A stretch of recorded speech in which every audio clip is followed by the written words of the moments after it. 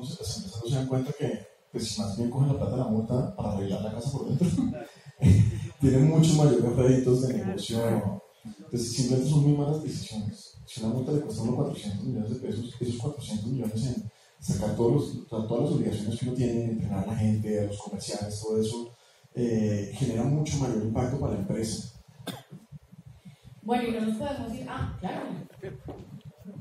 No, simplemente un dato me parece importante que se conozca. Eh, la superintendencia en estos 10 años ha recibido alrededor de 52 mil quejas. Simplemente a lo siguiente, un 52-53% termina en archivos. Es decir, no se encontró ninguna irregularidad o se solucionó prontamente el caso, digamos, hechos esperados.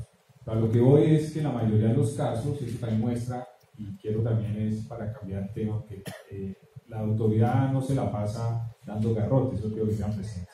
La autoridad ha encontrado que en el 52-53% de las empresas han obrado correctamente. Eso es tan importante decirlo siempre porque eso quiere decir que la ley se puede cumplir, la ley 161.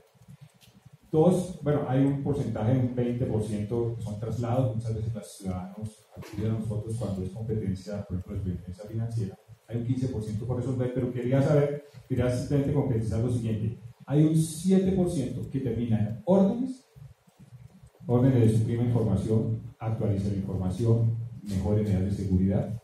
De ese 7% las órdenes son alrededor de un 5.5%, casi 2.500 actos administrativos y solo un 1.7% histórico o 1.6% son multas. O sea, realmente las multas es menor. Lo que pasa es que a veces la gente pues ve es como la multa y si ve que no hay multa, ve que no hay acción. No, yo creo que lo más valioso que está haciendo la pertenencia entre otras son las órdenes.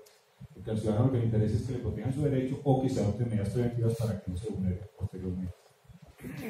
Bueno, no nos podemos ir sin hablar con nuestro ingeniero economista, creo, eh, sobre un nuevo auge en los sesgos de los algoritmos.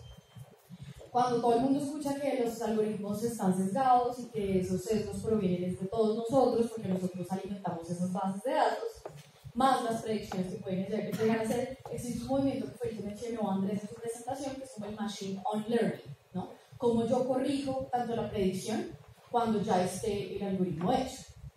¿Y cómo lo relacionamos? Digamos, Andrés nos puede ayudar acá. ¿Cómo podríamos también mirar ese tema con el right to be forgotten? ¿Cómo yo le digo a la empresa que ya tiene ese algoritmo, que está erróneo, corríjamelo y aparte de todo, elimíneme porque yo tengo el derecho a que mi información sea olvidada y que no la usen para ese tipo de predicciones. ¿Cómo ven esa contraposición entre el derecho que yo tengo para que a mí se me eliminen todos los right to be forgotten, y el derecho al olvido, el, llamado derecho al olvido acá en Colombia, y eh, los sesgos, digamos, como de los algoritmos que se pueden llegar a corregir, o sea, hay un machine on learning aplicado en Colombia.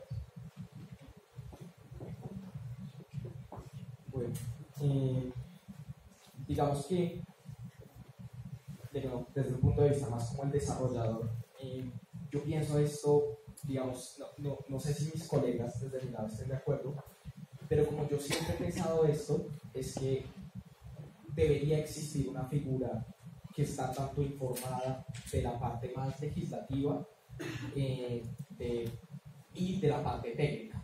Entonces una figura muy como una eh, auditoría de este tipo de modelos y de nuevo para supongo que futuras discusiones sobre lo que es o no es un algoritmo justo y poder evaluar los algoritmos que hacemos en el día a día y su implementación.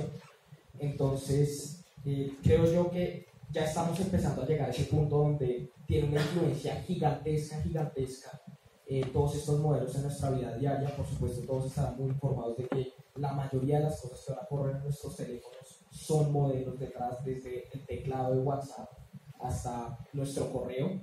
Em, y entonces creo que ya estamos llegando a ese momento, digamos, ya he tenido la experiencia y lo he visto, que pues se contratan empresas para ser auditoras de que haya justicia en los algoritmos.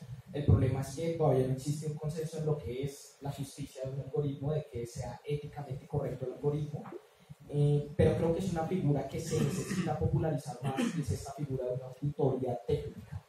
El problema es que la auditoría técnica es técnica tanto desde el punto de vista matemático como desde el punto de vista de eh, pues, legislativo, porque punto de vista legislativo se tiene que poner de acuerdo en qué es justicia y después desde el punto de vista matemático yo tengo que ver cómo puedo aterrizar ese concepto de justicia en propiedades matemáticas y poder evaluar un modelo. Entonces en un momento dijiste, eh, pues entonces el, caso es que la empresa está aplicando un modelo que pues sabemos que está sesgado, eh, ese es el punto. No, ¿Cómo sé yo en qué momento está sesgado? ¿Quién evalúa y quién dice que está sesgado? La SIC, eh, la propia empresa, de pronto genera incentivos para personas. ¿Quién es esa persona? ¿Quién es la autoridad que tiene que empezar a evaluar si un modelo es correcto o no es correcto?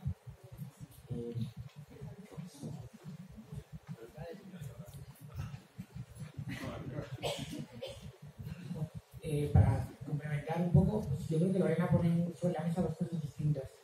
Para comenzar por el final, la cuestión del olvido. La cuestión del olvido está vinculada no al dato, sino al dato en su relación con la persona. Y para eso, pues, eh, los ingenieros han tenido tareas nuevas como no solo la administración, sino el procesamiento, por ejemplo, cifrado de los datos, ¿no? Y esto que llamo que es el cifrado homomórfico, una belleza.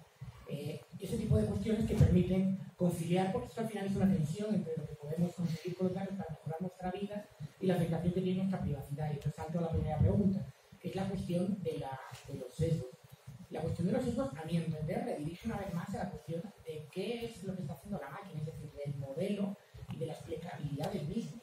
Es decir, eh, que, que, la máquina no, no está, en realidad lo que está haciendo es procesar una realidad según hayamos dicho, según haya inferido de una serie de datos en tipos de sistemas, pero nosotros, en términos de transparencia, tenemos la necesidad de poder explicar eso. Y es en esos términos en los que podemos empezar a detectar sesgos. Y explicar no quiere decir que yo abra el código y todo el mundo entienda el código, hay explicaciones alternativas. explicar la decisión, la decisión cómo la ha tomado, y ser capaz de reconstruirla. Eh, explicar, pues hay tendencias más como los contrafácticos, es decir, si cambio el, lo, del resultado, cambio los datos, la, la replicabilidad de los resultados. Es decir, hay una serie de eh, instrumentos para poder explicar, y es a donde tenemos que ir, porque es lo que nos permite detectar los sesgos. Si no, pues nos quedamos en la opacidad como uno de los problemas que tenemos es la perspectiva no de protección de datos, sino de utilización generalizada de decisiones de procesamiento automatizado. Sí, muy rápido, simplemente eh, para complementar, estoy totalmente de acuerdo con lo que dice Víctor, es eh, muchas veces, eh, y, y, volviendo al tema que creo que varios de nosotros hemos mencionado, yo trabajo por un mundo entre abogados y en, en ingenieros, a veces la, la, reacción natural del abogado frente a las empresas de tecnología, no, muéstrame el algoritmo, ¿no? para, para yo poder hacer análisis. Y, y, como dice Víctor, yo en lo que está, en lo que está trabajando verdaderamente es una gran cantidad de técnicas de explicabilidad, digamos así, de las decisiones eh, que pasan por eh, procesos técnicos funcionales, que, pero que no tienen que ver necesariamente con simplemente mostrar el algoritmo como tampoco tiene que ver hacer años que no, no se quisiera mostrar el código frente para todo tipo de auditoría o supervisión que tuviera que hacer una autoridad. Entonces es importante como perdón, que nos alimentemos de, esa, de, esa, de, de, esas técnicas que se están desarrollando y que desarrollan los ingenieros y que no simplemente lo pensemos desde el punto de vista puramente jurídico. Y un comentario final sobre lo que decía, que me parece muy importante, es el, el, el, tema del sesgo de inteligencia artificial pasa por un tema de protección de datos, pero no es solo un tema de protección de datos. Y el tema que tú planteas, por ejemplo, de derecho al olvido es, es muy importante porque la, el, el derecho al olvido es un mecanismo que yo tengo, sobre todo frente al dato personal observado, yo creo, digamos, es decir, claro, usted recolectó este dato mío y, por lo tanto, elimínelo. Pero el problema que, se, que genera el sesgo es que lo que está haciendo el algoritmo es básicamente generando un dato a partir de un, de un comportamiento o a, o, a, partir de diferentes estadísticas, pero eso no necesariamente significa que el titular tenga un derecho, o sea, como que no hay un derecho sobre el cual ejercer eh, ese derecho al olvido frente al, frente al algoritmo. O sea, no, no es que necesariamente hay un, hay un dato en la base de datos de esa persona que haya que borrar. Luego el, el ciudadano sí se puede quedar sin herramientas. Por eso muchas veces no, por eso se dice muchas veces no, de pronto necesitamos un, un derecho adicional al ciudadano para ese tipo de problemas porque el derecho al olvido de pronto no es suficiente para mis datos que han sido predecidos a través del algoritmo. Exactamente. Listo, entonces nos quedan eh, dos preguntas del público. Yo soy súper estricta, entonces eh,